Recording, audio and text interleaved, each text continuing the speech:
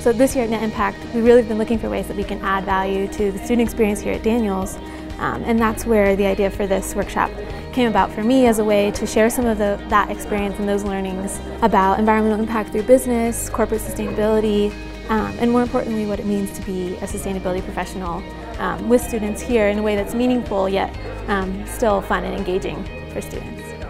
The, the overall challenge question for today, how can Chipotle use reverse logistics to improve its overall waste diversion rate through recycling of cardboard?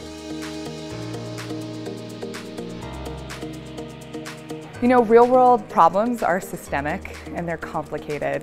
And this sort of ideation or design thinking, rapid prototyping, whatever you want to call it, is really helpful for those types of challenges. Um, so to be able to get lots of brains that are really sharp in a room and tackle these systemic problems is of the most benefit for us. So rapid prototyping is an activity where a group of people get together and they do rather than think about doing or talk about doing. And so it's a way to quickly come up with possible solutions or answers to a problem or a challenge without getting bogged down by constraints and concern. This type of exercise just lets people get together and start solving the problem and continuing to quickly build on that throughout the course of the day.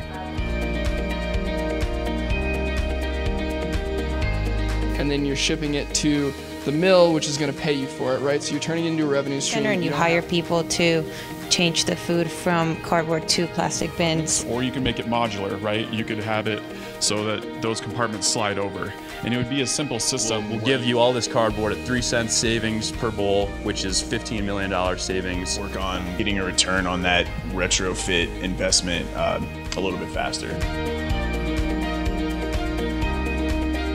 specifically for this sort of ideation or creative thinking, to have this school in our backyard is really a gift. And this is the first of what we hope is many sort of interactions and problem solving that we can do with the students.